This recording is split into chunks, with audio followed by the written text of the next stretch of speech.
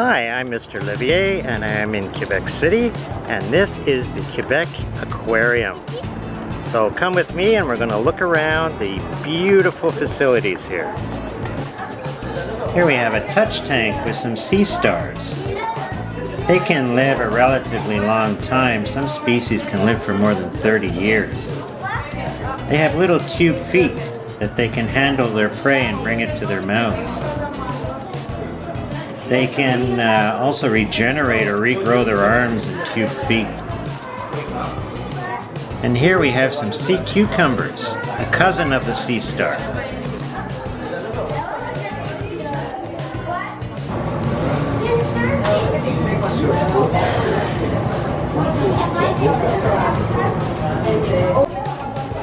The giant Pacific octopus is a very smart and solitary creature. It uh, is super intelligent, it can open jars and solve puzzles, and it can interact with its caretakers.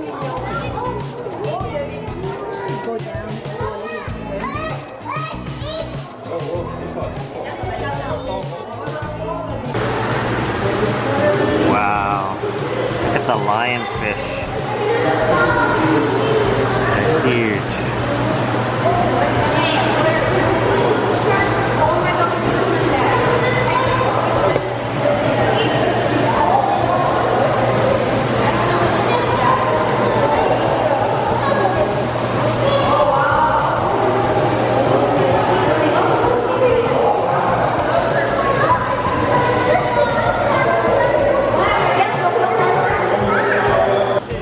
We have some clownfish species.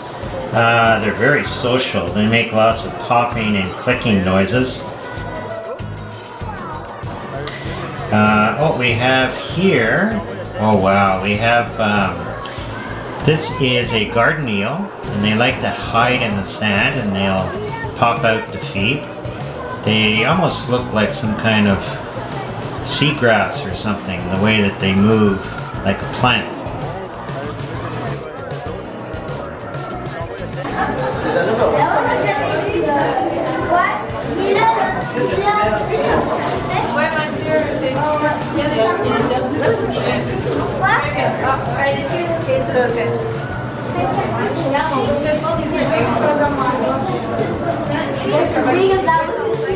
Oh, told you it's over Christina. Going up. 11h moins 10.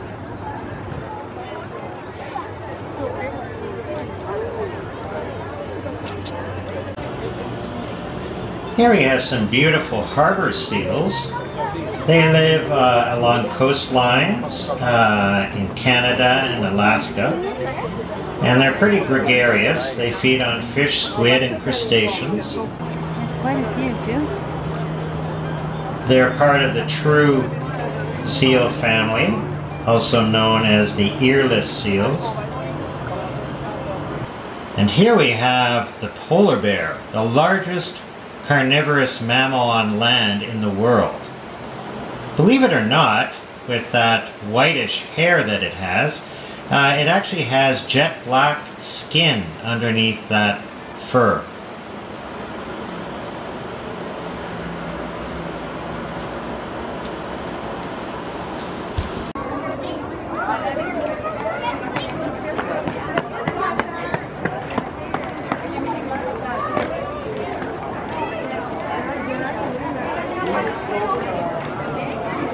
In English, you'll see that we will do the biomedical training of our seals here. The arbor seals need to be separate from the arbor seals in order to, uh, to make sure that they are uh, uh, they concentrate. And the goal of this training is actually to get them used to our presence, to make them, uh, sure that they are less nervous. So that way it's easier to check on them and do a biomedical survey every single day. Here are some walruses. Look at how big they are. Ici, on va faire des entraînements ce qui fait en sorte de les désensibiliser et de faciliter les contacts. Here, Mr. Walrus. Tous les jours, nos entraîneurs vont les nourrir et effectuer certains gestes avec eux. Look Ils leur demander there. à faire quelques commandes vocales de montrer leurs pattes, leurs fesses, leur ventre. Grâce à ça, ils peuvent effectuer leur suivi biomédical, donc faire une petite inspection pour vérifier leur état de santé. Même que ces entraînements sont hyper pratiques. These walrus are amazing swimmers. Wow, look at them.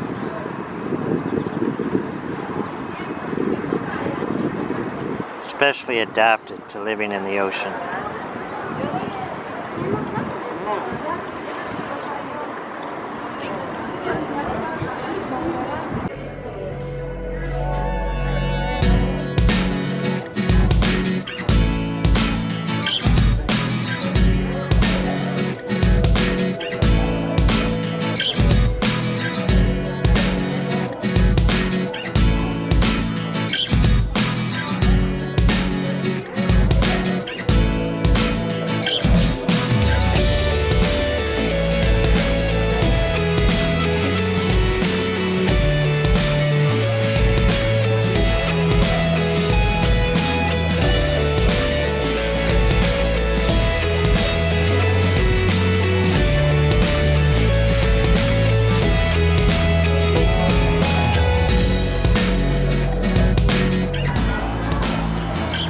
Here's one of my favorite fish. It's known as the weedy sea dragon. And its ability to camouflage in weeds underneath the ocean is quite amazing. The cow-nose ray loves to be pet, and many aquariums around the world allow people, visitors, to come and pet them, and they seem to really enjoy it. They, uh, they're named because of their forehead has these two lobes that resemble the nostrils of a cow's nose. They're pretty amazing animals. They're made of cartilage. They're a cartilaginous fish. Hey,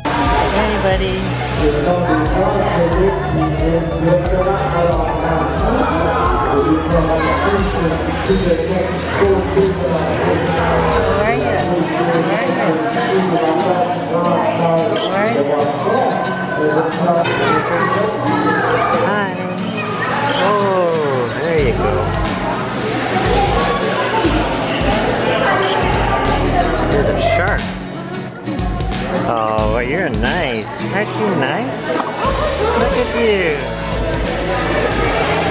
Wow.